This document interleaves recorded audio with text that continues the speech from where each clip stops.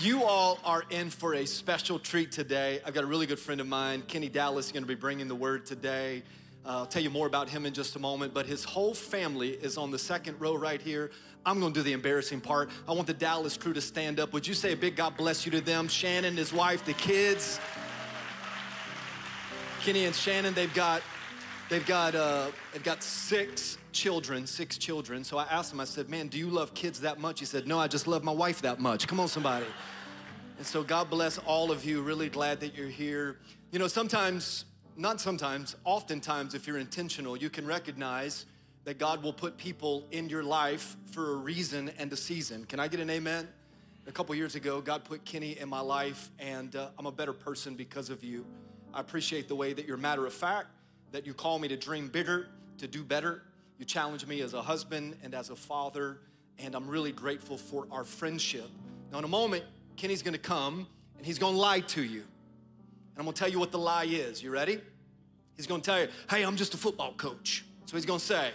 And that's his past to say things that pastors can't say from the pulpit. And you're gonna hear some things today that you'd never hear from a pastor, but that's a lie in the fact that you're far more than just a football coach. You are an incredible husband, you're a tremendous dad, and you are an anointed man of God. Kenny has spoke at Man Up a couple years, and uh, every time you open your mouth, the Holy Spirit works through you and in you. He's also the founder of M46 Dads. He's written a book and a curriculum to help us dads, again, really understand what it means not just to be the provider of our home or the protector of our home, but to be the priest of our home. And so M46 comes from Malachi 4 6, and that verse says that he will turn the hearts of the father to their children and the hearts of the children to their fathers. The verse goes on to say that if that doesn't happen, then there will be destruction in the land. And how many of you see that happening right here in our country right now?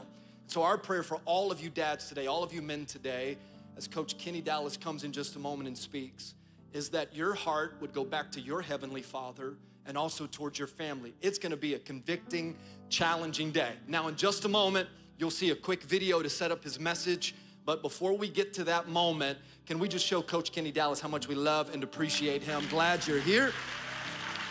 Hey, and check this out. I'm gonna steal your line. Hey, listen, listen, listen.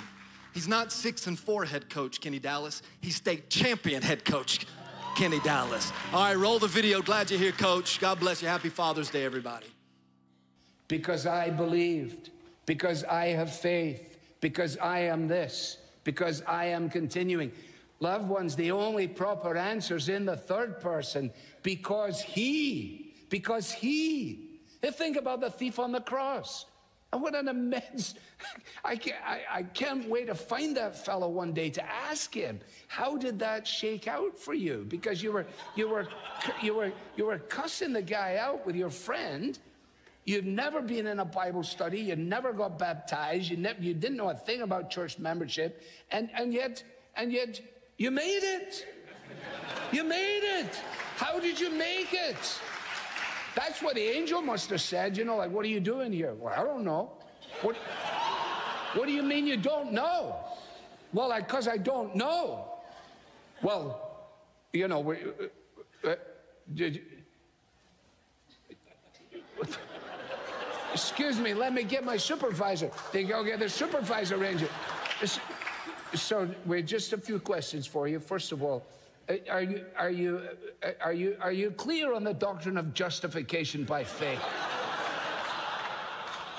the guy said, I never heard of it in my life. And, and what about, uh, let's just go to the doctrine of Scripture immediately. This guy's just staring. And eventually, in frustration, he says, on, on what basis are you here? And he said, The man on the middle cross said, I can come. Now, now, that's the, that is the only answer. That is the only answer. Hey, hey. That's a couple of good videos, man. Y'all's, y'all's guys, that video earlier, I love that one right there. All right, so listen, here's, here's the deal. Go church. I'm so excited to be here with you guys today. So excited to be here with you. But I am going to go ahead and say this. JC said it. 28 years I've been a high school football coach. So here's the deal. If I say something dumb up here today, 100% JC's fault for asking me and putting me up here, okay? I'm gonna tell y'all this. I love your pastor, man. I, I love your pastor. Dude, have you ever just met somebody and you're just like, dude, this dude's just a brother, man. Like he loves the Lord, he loves his family, he loves this community.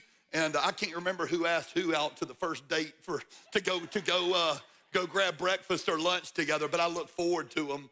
Uh, I, look, I look forward to him all the time. He's just, man, he's a brother. And so, uh, man, I'm so excited uh, to, to be with you guys today. What I want to talk to you guys about for a little while is something called game changers. Uh, any of you guys who are in sports, you, you guys will know what I'm talking about. There's certain things, there's certain players, there's certain times where it's just a game changer and, and things change, right? And, and, uh, and I'm gonna talk to you guys about one that's happened in my life about over the last year or so of something that I've learned that's a game changer for me. But before I do that, I wanna share with you a couple others, okay? That video right there, do you remember the first time you realized the dude on the, the thief on the cross, and he's right, literally he's cussing Jesus up into those last moments. I don't know what this dude did in his life, but it got him to the point where he was having capital punishment. He, wasn't a good dude, was he? Right? All I know up until the last moment. But you know what? I, I learned something. It was a game changer. Like, hmm, maybe it is not so much about what you know, but it's about who you know. You know, right here. And he knew Jesus in, in his last moment. That was a game changer for me. I wanna, I wanna mention a few others to you guys. I remember reading the first time Matthew 6 12 um, and it says, Father, forgive us our trespasses as we forgive those who trespass against us. When I became a believer, I got one of, listen, I still have one of these Bibles where it's like, there's the scripture, and then it explains to you. Some of us simple minded dudes need this spot at the bottom where it then tells you, you know, what, what it's saying. But I remember as a young believer, I'm 19, 20 years old, and I'm reading that for the first time. And at the bottom of my Bible, you know what it says? Father, forgive us our trespasses. We uh, forgive those who trespass against us. It says this Jesus was praying, God, forgive me in the same manner in which I forgive others. And I remember it was a game changer for me. I've got to be a man who's quick to forgive, not slow to forgive others. Okay? There's a game, it was a game changer. I remember the time I really learned what the parable of the Good Samaritan was all about. Listen to this.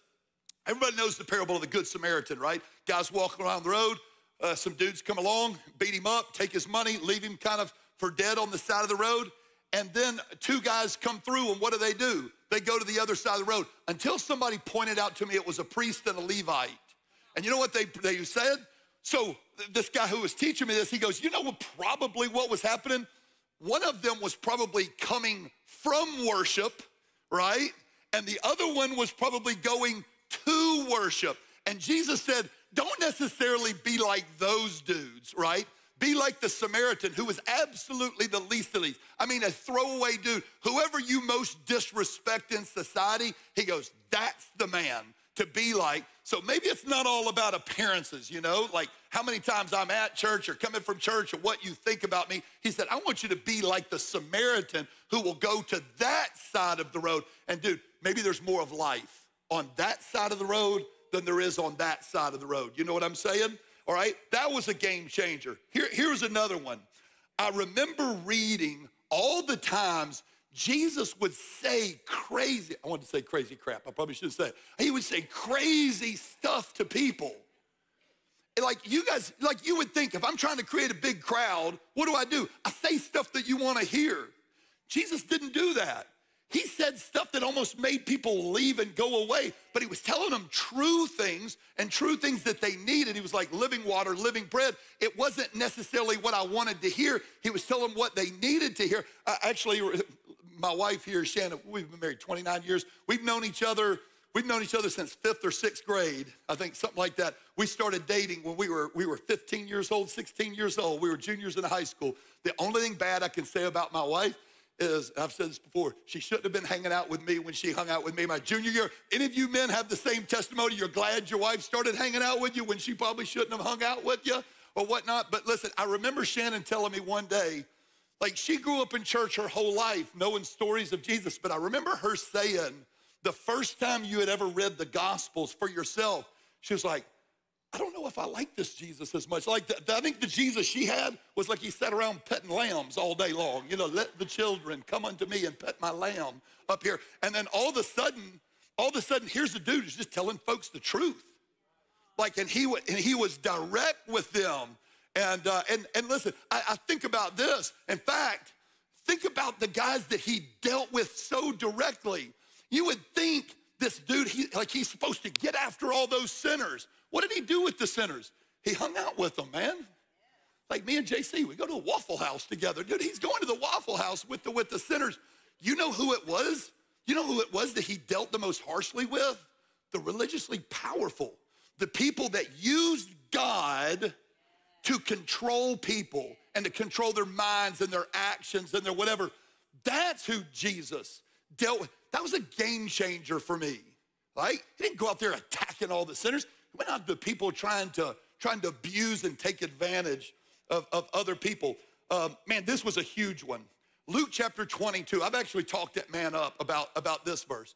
I could say, man, it's my favorite verse in the Bible. My wife always says, be careful, like you say that about like 10, 15. I was like, in the moment, it's what I mean. I'm telling the truth, all right? Morally telling the truth. All right, so listen, here's the deal. In Luke chapter 22, Jesus is getting ready to die, right? It's, he's in his, he's in his, it's actually his last night, and he's telling all of his disciples, they're having dinner.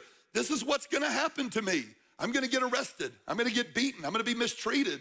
Uh, ultimately, I'm gonna die. And he tells Peter, in fact, Peter, you're gonna deny me three times. You guys know this story? Does anybody know what Peter told Jesus? He's like, Jesus, I would go to jail for you and I would die. In other words, Peter was like, shut up, Jesus. This is what I'll do for you.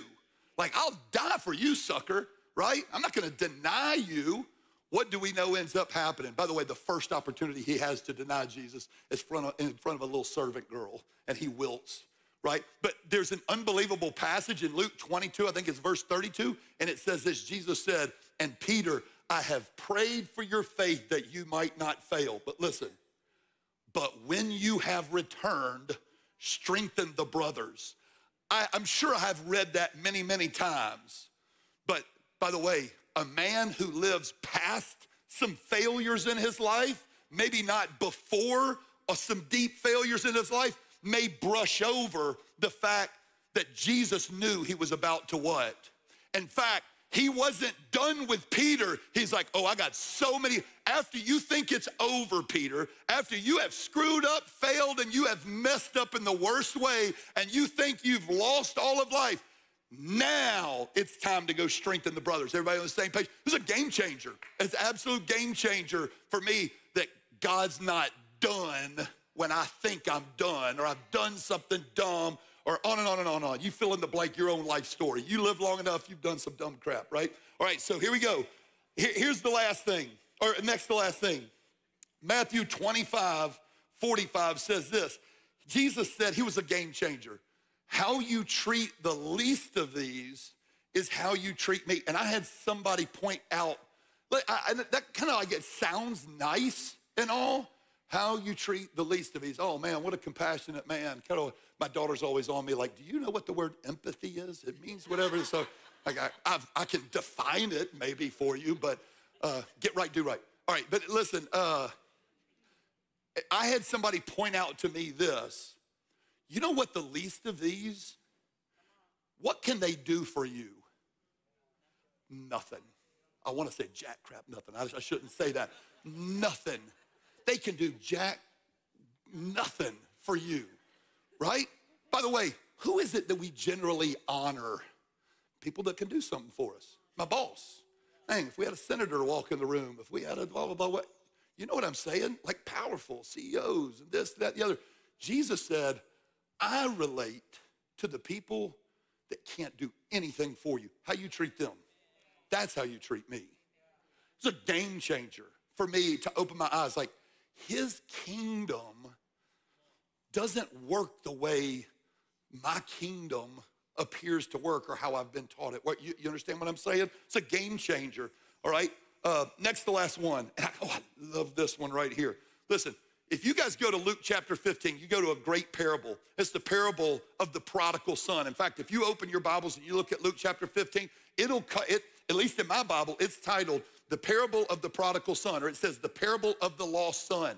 Do you know I had this pointed out to me a few years back? Unbelievable. Do you know that beginning of that chapter, if you look at Luke chapter 15, who he's talking to, it says Jesus began to speak, listen, to the sinners and the and the tax collectors. All right, there's one crowd. And the scribes and the Pharisees. So he's talking to two groups of people. Listen to this. Listen to this. So he goes on to tell him a couple of stories, okay? And I'm actually going to refer back to Luke 15 later, later in my talk. But listen, in this story of the prodigal, of uh, the, the story of the prodigal son, you guys know what happens. We all call it the, pro, the story of the prodigal son, the story of the lost son. You know how Jesus said? Jesus said, let me tell you a story about two sons. Why is it that through our filter, I think honestly, some of it is our we got to be careful of our own like kind of pharisaical way that we look at the gospel and all of that stuff. Oh this is a story about a bad kid. Because what that bad kid do? He's like dad wish you'd be dead. Give me my money. He goes out he spends it on women and loose living. It's crazy. He ends up losing it all. He ends up working for a dude. He's in the middle i mean he's literally laying like and he was uh, in the middle of nothing. All the friends magically disappeared because the funds have disappeared. No fun. And he's sitting around going I just wish I was at home. I, I, just, I'll be a servant for my dad is better than this crap that I'm living in right now. What am I doing? Like, what am I doing? And so what happens? He comes home and we know the story. What does his daddy do? Boom. And listen, it's a picture of God's love. I don't even think that's the point of the story because he keeps on talking after that. And he says, What was the reaction though of the older son? Does anybody know?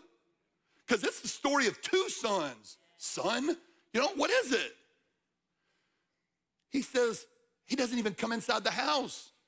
He's mad. In fact, he says, I've done good my entire life. You've never thrown me a party like this. And listen, the story ends, we don't even know if the son comes in the house for the celebration. There's a party going on, and he's outside pouting. You know why? I've done good my whole life, and you hadn't even. And listen, the, the dad says, Everything I have is yours. But listen, I think part of what we're trying to understand in that story is maybe there's two ways to be far from God. There's a way to be far from God when I'm really, really bad, and there's a way to be far from God when I think that I'm what? Really, really good. You know what I'm saying? And those are two, de- and I think it's exactly what Jesus is telling the, the Pharisees and the tax collector. I mean, the, the, the tax collectors and the sinners, but also the Pharisees and the scribes. There's two ways to be far from God, okay? So, all of these were game changers. I'm gonna give you one more game changer that's a stat. Even though this is Father's Day, and that's normally what I do. Listen, my life for the last 28 years, I spent, I'm a high school football coach, so I, I, I, speak to 16 year old idiot boys. This is what I do, man. And I can call them an idiot because I was a 16 year old idiot too. And so it's, I say words like listen and stuff like that real sharp, and you would too for the last 28 years. You talk, talking to you know 116 year old boys that don't know how to listen, you'd say, you'd, you'd speak real sharply too. But, um, but it, it, here's the thing here's the thing. This message is not really just for daddies, but daddies, I'm about to drop a stat on you that you got to deal with right now. Every single one of you guys sitting here, you got to deal with this stat, okay? Here it is. A child who comes to Christ, a child who comes to Christ, the rest of their family comes to Christ 6% of the time, okay? So there's, a, there's an impact there. And by the way, this is not a negative stat towards you mamas anyway. This is a stat I'm trying, I'm trying to uh, have the dads understand that the, you know their, their influence. A mama comes to Christ. The rest of the family comes to Christ 17% of the time after a mama comes to Christ. A daddy comes to Christ 93% of the time. The rest of the immediate family comes to know Christ. And so listen, game changer dads. Game changer. JC said it. You're not just provider and protector. And listen, good for you for being provider and protector. And that is a, it's not a terrible definition for daddy, but God also created you to be the priest of your own home too. So I want you guys to listen. I want you to listen as I talk about today's game changer, okay, that, that, I, that I really want to hit with you, okay? And I'm gonna do it through looking at a chapter that every one of us could probably recite.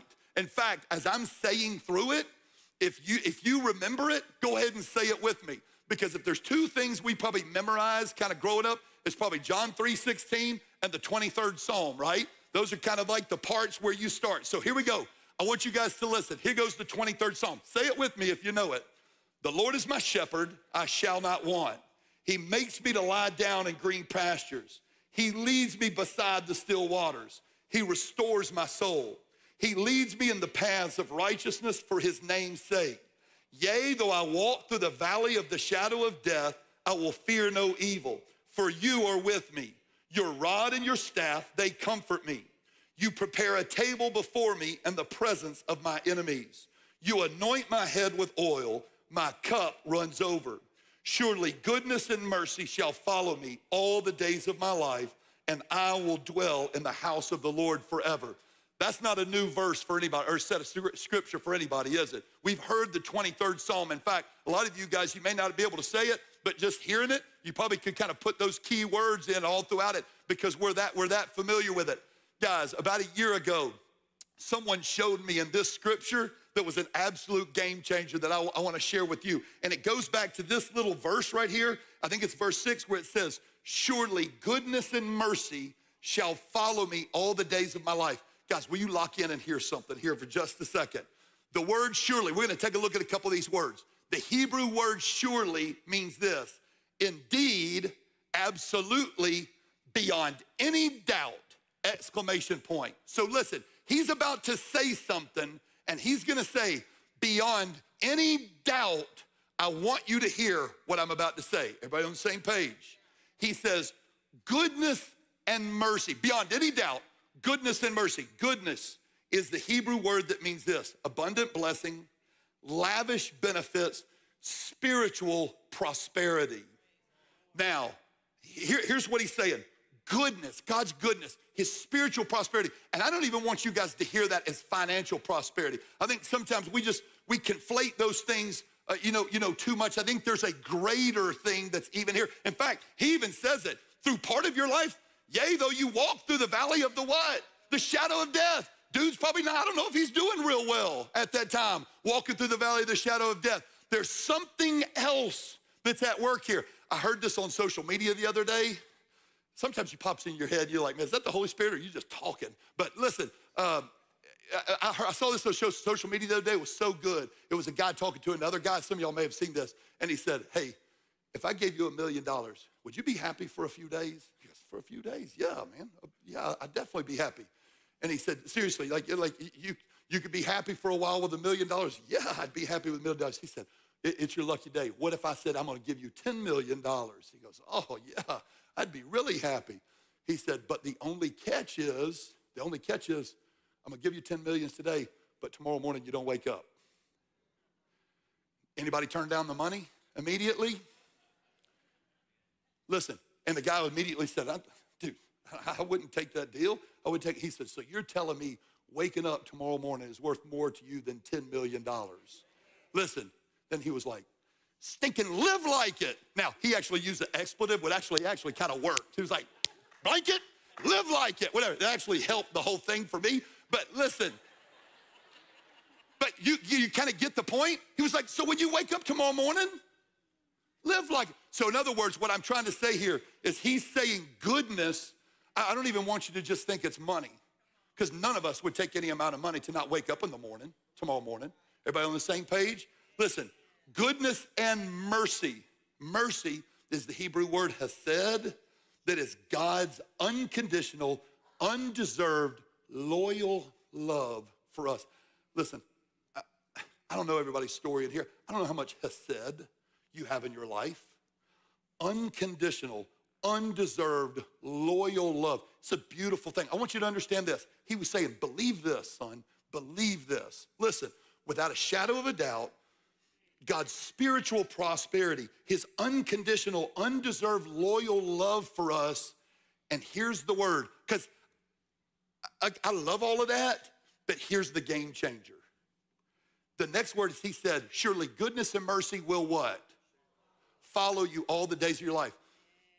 Who showed me this, who pointed this out. Listen to what the Hebrew word follow means. It's R A D A P. It's a Hebrew word. It means this to pursue after, to run after, to chase after. You know what this guy told me? He said, to choose the word follow after you hear, after you hear pursue after, run after, chase after, that's a terrible word. That's such a passive word to you. Listen, when I say follow, doesn't it make, doesn't it kind of sound like, uh, it's like my puppy. It's follow me. Like, come on, Charlie, good, good boy. You know, follow me, follow me here. You, you kind of get what I'm saying? Like, God's spiritual prosperity, his, his undeserving covenant, beautiful, pursuing love for me, his loyal love for me, he's saying it doesn't just follow you. Listen, it doesn't just follow you, it pursues after you. It runs after you. It chases after you. Man, can I go so far as to say this? It is hunting after us. That sounds like a better word to me than follow. In fact, C.S. Lewis, you guys know who C.S. Lewis is, Chronicles of Narnia, all that, all that stuff. C.S. Lewis described God as the great hound of heaven. Maybe he's not this little puppy, right? In fact, C.S. Lewis goes on to say, oh, yeah, he's good, but listen, he's not safe. Man, he's pursuing. He's pursuing me. So listen, right now, and I can't talk to you ladies, never been one, but all you dudes, listen to what I'm telling you. I meet dudes all the time who don't think they're worthy to step inside of a church. They're like, you don't know what I've done. You don't know where I've been. You don't know the bad decisions I've made. There's dudes who think like, dude, I gotta be all cleaned up and I gotta be all right to be here. No, you don't. Listen, that may be what the Pharisees have told you that you have to do, but you need to understand this. I had it explained this way. If this place was like a car dealership, you ever been to a car dealership before? Out in front is the show, is the it's the what do they call that? The uh, the showroom. Listen, if I was gonna drive a clunker up there, you may feel like, well, I can't take it to the showroom. Dang, look at all these beautiful cars. Guess what? The church, it ain't so much the showroom. You know what the church is? It's the shop out back, right? Now, I'll take my clunker to the shop in back to work on. I got a problem with my engine. I got a problem with my transmission. I got a problem with my, what, you guys understand what I'm saying? So listen, this thing, what it's not supposed to be, I don't think the church is supposed to be some kind of museum of holiness. You know what I'm saying? Listen, it's a hospital, right? And listen, here's the great news. I know that God is pursuing you today because your butt is sitting in here right now. Something has happened to where you're sitting in here right now. He's still pursuing. And listen, you got to deal with that. You got to deal with that. But I, am just telling you, as I have lived a little bit, here's what I kind of think. I think he has, and I, I read this quote, I think it's true. I think he has a single, relentless stance towards us. He loves you. That's his single, relentless stance is that he loves you and he will chase, he will run, he will pursue. In fact, let me point you to Luke chapter 15. Remember how I was talking about the parable of the prodigal son earlier? There's two other stories he tells in Luke 15. Does everybody remember who he was talking to? Talking to the Pharisees. He's talking to the, to the Pharisees and scribes. All you guys who think you got all your junk all together, right? We got it. You got all the power. You know you're telling everybody how awesome and how great you are. I know who you are. And then I got these over here. You got the tax collectors and sinners. Dudes who know. Dudes who know they got no reputation out there, okay? So he's talking to the full gamut and he tells them two other stories. You know one of them. One of the stories probably it's the story of the hundred sheep. One sheep is lost. What does the shepherd do? He leaves the what to go after the one. And then right after that, he tells a story of a, of a widow who's got a bunch of coins, and then she realized she's lost the coin. She, she leaves her coins and she goes after what? The lost coin. Now, listen, here's what was pointed out to me about this word follow, pursue. It's not follow, but it's pursue, chase, hunt. You know what the guy who, and, and listen, I was always taught and I always thought that's a straight salvation uh, passage. And maybe it is. JC get up there and was like, he had no idea what he was talking about theologically. It was. It was straight. May, may, and may, maybe it is, but you know what was pointed out to me? Maybe there's a broader meaning to that because I want you to think about this.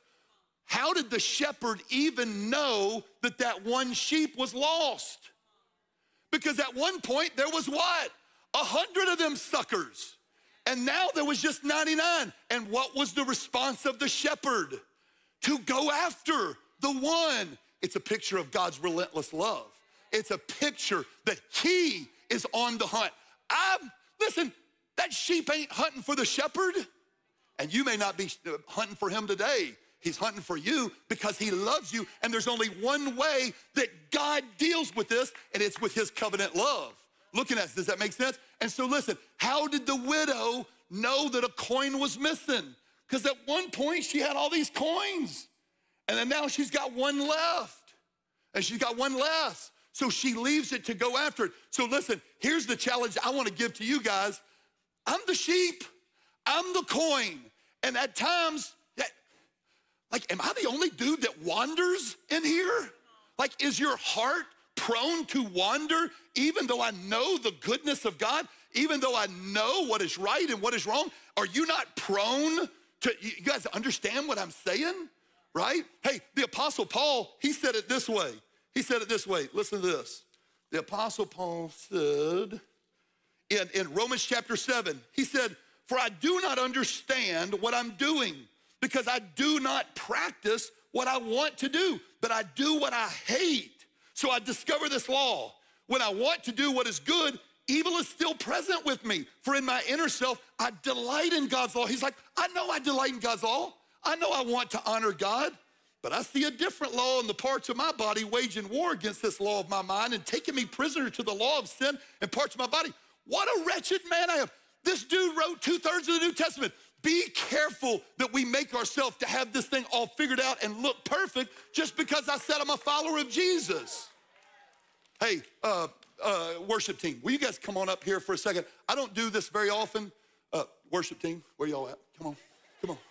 Oh, you already up here? Okay, sorry. Hey, worship, worship team, let's go. We got stuff to do. Hey, so, so listen, I don't do this very often.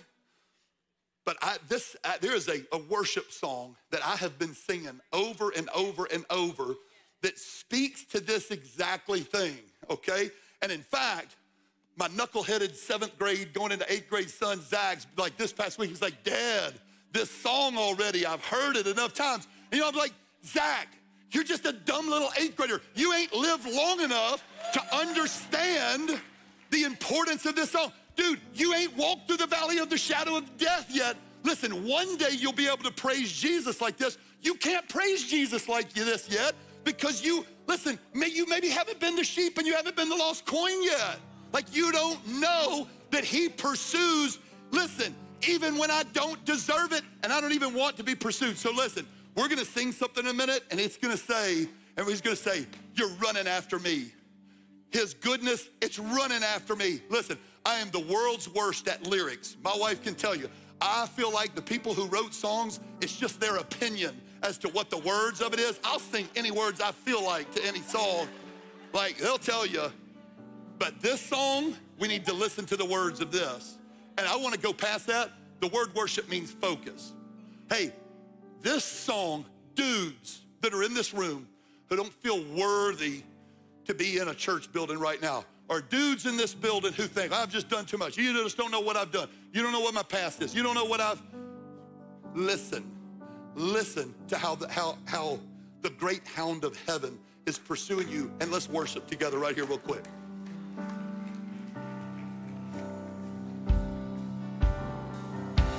And all my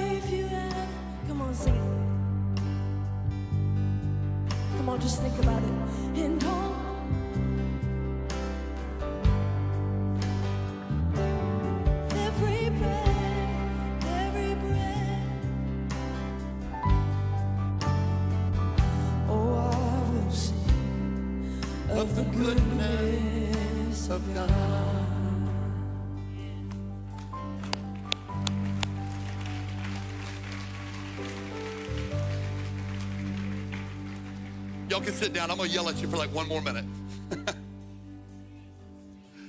so, Paul at the end of chapter seven is like, what am I gonna do with myself? Like, I know I wanna honor God.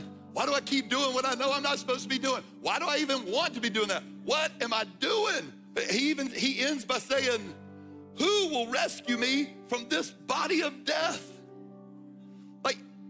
This dude wrote two thirds of the New Testament. Don't tell me you got everything figured out yet. Or at least listen, you're just not a dude I can learn from because I can't relate to you if you've got it all figured out.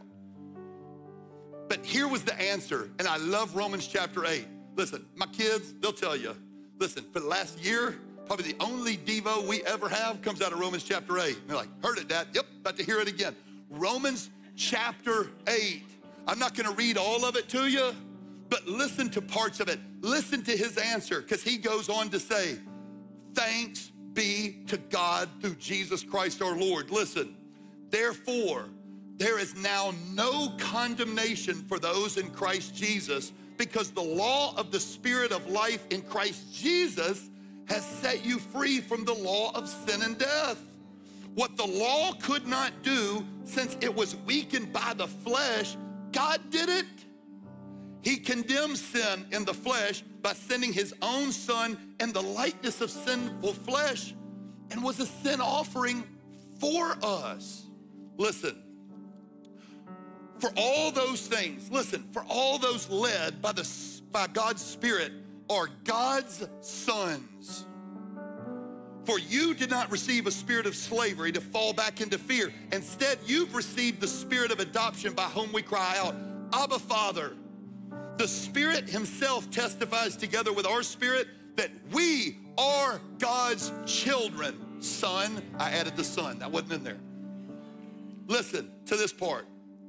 For the creation eagerly awaits with anticip- anticipation for God's sons to be revealed. You know, creation's sitting on the edge of its seat, like just waiting for you men to be revealed, right? Waiting, and, and, and girls and boys and girls, everybody waiting for God's children to be revealed. It's sitting on the edge of its seat, waiting for it to be revealed.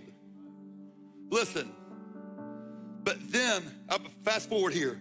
But then, what, what then are we to say about these things? If God is for us, who could be against us? He did not even spare his own son, but offered him up for us. How will he not also with him grant us everything? Listen, who can bring an accusation against God's men, against God's people? God is the one who justifies. Who is the one who condemns? Christ Jesus is the one who died.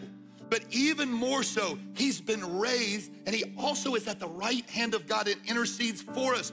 Who can separate us from the love of Christ? Can affliction or distress or persecution or famine or nakedness or danger or sword? No, in all these things we are more than conquerors through him who loved us. For I am persuaded that neither death, nor life, nor angels, nor rulers, nor things present, nor things to come, nor powers, nor height, nor depth. And then he goes, nor anything else in all creation. I think he did a pretty good list. He was like, if I missed it, there it is. Listen, nor anything in all creation is able to separate us from the love of God that is in Christ Jesus our Lord. Listen to me today. He has a single, relentless stance towards you. He loves you. He loves you. And even when it's not reciprocated, when you're too weak, when you're too willful, when you're too whatever you want to put in there, He will pursue, He will run, He will chase, He will hunt because He's the great hound of heaven. And it's why you're sitting right here today because he loves you. Can I pray for us? God, thank you that you love me even when I don't love you in return. God, I'm blown away by how you pursue me. I'm blown away by how you see me. God, I, I don't even know what to say about that other than here. Here's all I have. Here I am. I surrender it to you. And God, help me then show others what that love looks like. God, I pray for JC. I pray for Go Church. I pray for their impact in this community. God, I pray for daddies that are in this room and for mamas in this room and for children this in this room. Lord, may we honor you with our lives, Father. God, thank you for pursuing us. In Jesus' name, amen.